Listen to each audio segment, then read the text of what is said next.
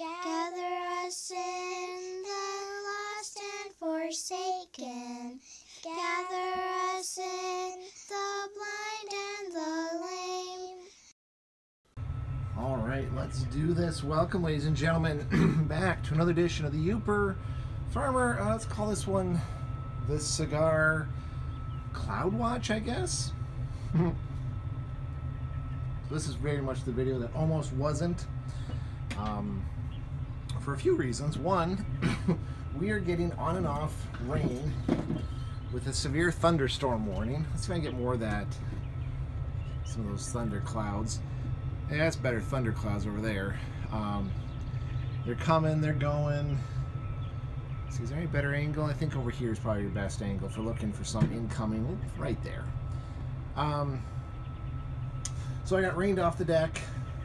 I'm now sitting on my front porch area. Um, I couldn't find a cigar. My phone was ringing off the hook. I couldn't. Uh, went to go grab the bottle of uh, a beer for tonight. Couldn't find an opener, uh, so I almost called, tapped out on this. Uh, but my wife kind of gave me the encouragement to go ahead and and shoot the video because I wanted to shoot this one before EMS week started, so I could post it during EMS week. So here we are. Uh, what are we smoking? What are we drinking? Oh, camera probably won't pick this up very well. Let's see. It is the Caldwell Caldwell Blind Man's Bluff cigar. A little Connecticut cigar, actually pretty good. Uh, he owns the night. And then for the beer tonight, we have an oatmeal stout. Uh, I'm going to screw up the name. From Schlafly. S C H L A F L Y. Wow. That is uh, an interesting name. A lot of vowels in there, a lot of vowels. I'm actually going to save that bottle cap because that's kind of a fun little fun little uh, name actually for a brewery. Just name in general. So tonight, what are we talking about? Good question. Real quick, just in case you're curious, it's actually got a really good head of beer, but it's actually that is a really light, light stout beer. Not a bad flavor though. A light flavor. If you could have a light, um, a light stout, you know, like a Michelob Light or a Bud Light, uh, this would be like the Guinness Light. Uh, very light beer, uh, very easy drinking. You could easily have two or three of those ones um, in a sitting and not have that full, full stout feeling. It's interesting. Anyway, tonight we're going to talk about the EMS partner. Um, chalk this on the list of things I'll miss is having your EMS partner. Yes, also referred to as your EMS spouse because uh, you feel like you're married to these people. Uh, I have to acknowledge the elephant in the room with this one, or kind of the the joke that was funny, but kind of we can't joke about anymore.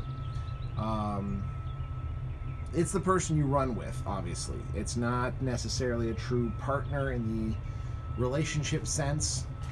Um, although sometimes that develops. You will have uh, people work together and then get into a relationship. It's a huge no-no. Um, don't do that. Don't try to date or marry your EMS partner. Uh, you have something different when you're on the rig compared to once you get home. Now, I'm sure there's some people who will adamantly disagree with that, but my experience, what I've seen with people, don't don't marry, don't sleep with, um, don't have a relationship with your EMS partner. But although I don't speak in the relationship um, realm of things, it is a marriage. It is, you know, the EMS wife, EMS husband. um, it's true. And again, we're bonded in very tragic events. Uh, when you go through a death, when you go through life uh, altering, life changing events, um, as a team, it, it bonds you, it connects you, it gets you closer. Um, you find yourself talking to your EMS partner about stuff you will not talk to your husband or wife about. Um, about your girlfriend or boyfriend. You're not going to talk to them. Even stuff you wouldn't dare tell your psychiatrist, your psychologist. You really start to open up to your EMS partner. Um, and I hate to say it, the bond, especially when you're working together, is almost stronger than that of your uh, your husband or wife or boyfriend or girlfriend. Um, I think that's why there's so much infidelity and divorce in EMS. Uh, one of the jokes I uh, I uh, heard at the fire hall, we were talking about, uh, you know, they, there's an Irish toast they had put on the wall. Here's to your wives and your girlfriends, may they never meet.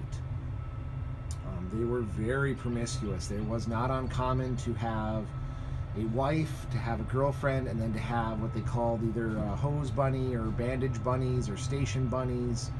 Um, girls who just hung around that basically got passed around the fire department. Um, I never partaked in that. I can say that with all honesty and a straight face. I never had any interest in that. Uh, once I met my wife, I, I knew she was the one.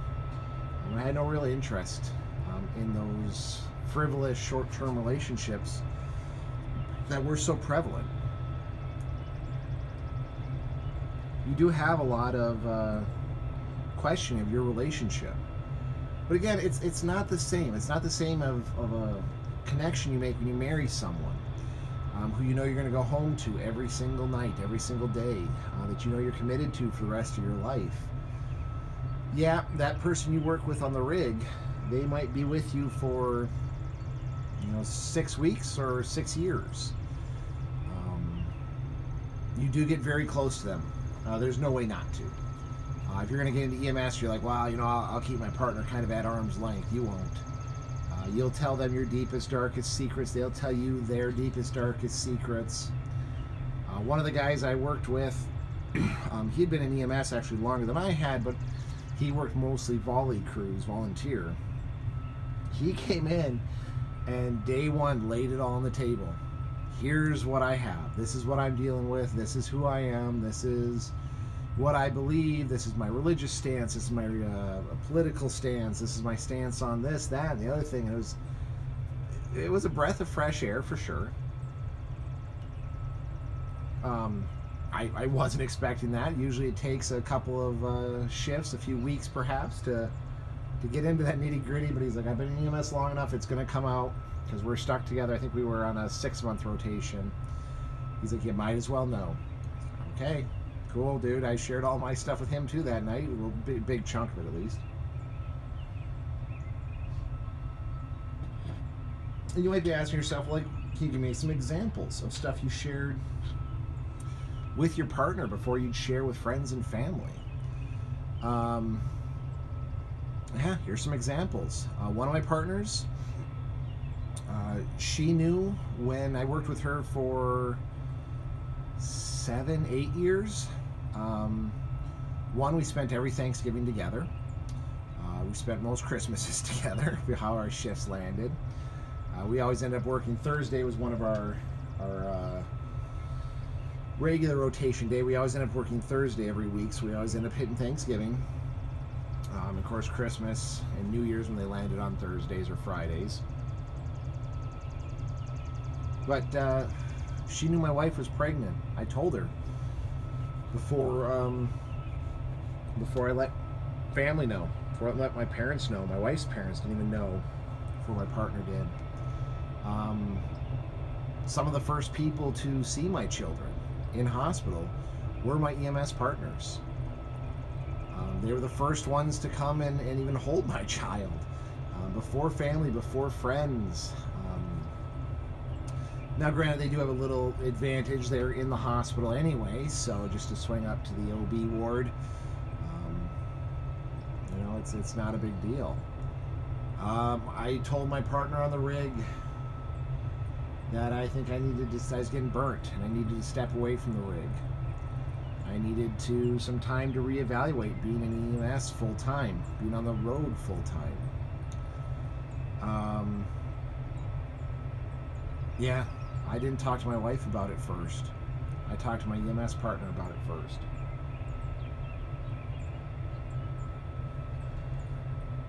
I mean, that's a double edged sword there because although my wife, as she'll put it, has put it, you know, they she is an EMS. She was an EMSer. She had to live that life. Um, a couple of her homeschooling mom's friends would tell her, you know, she's a widow without being widowed. Um, so they nicknamed her the EMS widow because she would. She was um, home alone. She was stuck, uh, stuck caring for our kids sometimes seven days a week, depending on the, what was going on, what disasters were happening, what the scheduling was like. It was her. I have a lot of respect for her for that. That's one of the reasons I stayed with her, because she put up with that. But the day I thought about quitting altogether, just quitting my job in EMS, I talked to my EMS partners first. Um, when I made fatal calls, where I made the wrong choice, a mistake, guess what? Every medic does it. I don't care what they say. We all have done it. Uh, I talked with my partner first. I've had other partners come to me and tell me, you know, they're thinking about getting a divorce or thinking about having suicidal thoughts or, you know, they're planning a, a major life change and they wanted my opinion first before they asked their spouse. Kind of crazy. But again, you're spending 48 to 90 plus hours a week with these people. You sleep in the same space with them. You ride around in a truck with them. You face death with them, both other people's and sometimes your own. Um, again, I, have talked about this in an earlier video. It's no different from what I've heard. Again, I never served, but from what I've heard, it's a lot like the military the relationship you build with someone in a foxhole. And I'm not guilty of referring to the ambulance as a modern day foxhole. Uh, we jump in it for protection, gives us shelter, allows us to do our job. Um, we sleep in there. Uh, yes, we go to the bathroom in there when, when stuff is getting getting hectic and getting busy. Uh, we mount a defense from there. We make plans from there not dissimilar to a foxhole. And sometimes they blow up too, just like in real life. Sorry, bad joke, bad joke. Um, but yeah, you're the EMS partner. I, I just that relationship you get with someone, that connection, it's amazing. It's hard to explain unless you've been there and experienced it. Um, even people who you absolutely despise as individuals when you're their partner, you get a, a close bond, uh, whether you like it or not. I talked about when I talked about EMS culture. I talked about I had a partner. Um, this this uh, lady did not like me. Let's just say we didn't see eye to eye. Um, but she was one of the first people to offer help when I was going through a really tough time. Um, she gave me some advice. I did take some of it. I won't lie. Took some of the advice, uh, heeded some of her words of, uh, of warning about uh, the path I might be going down, or what I might be thinking, or what I might be trying to do. And I didn't take it all because some of it was bullshit. But um, yeah, it's just oh, the moon's poking out. Look at that. Pretty cool. Uh, yeah, you just you, that connection you get. I've, I've never seen it in any other profession never experienced that closeness uh, with someone. Um, even when I was in emergency preparedness, I did disaster response. Uh, you got a little close to people, but it's not the same. Um, and I sat through a, a psychological uh, continuing ed, talk about resilience, and they talked about how during disasters there's usually an end point. Like they know they can estimate when flooding will end they can estimate when the fire will be put out.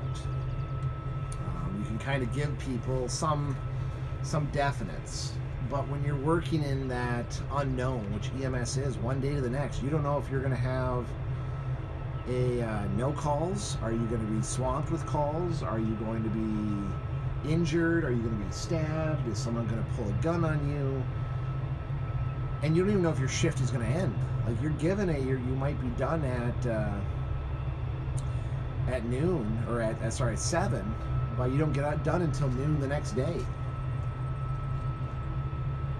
So when you work with someone that much, that close, you're bound to build a very strong relationship. And I do miss it. Uh, I miss it from being full time on the rig or working on the rig, ha- having that that partner, someone who is stronger than family in some regards. It's closer. Uh, many, many, many of my partners I had on the rig, I am hundreds times closer to them than I am to some of my own family members. Uh, my wife, not you know, excluded, of course, that's the person the closest to. But again, there's some stuff I don't talk to her about. There's some stuff she doesn't want me to talk to her about.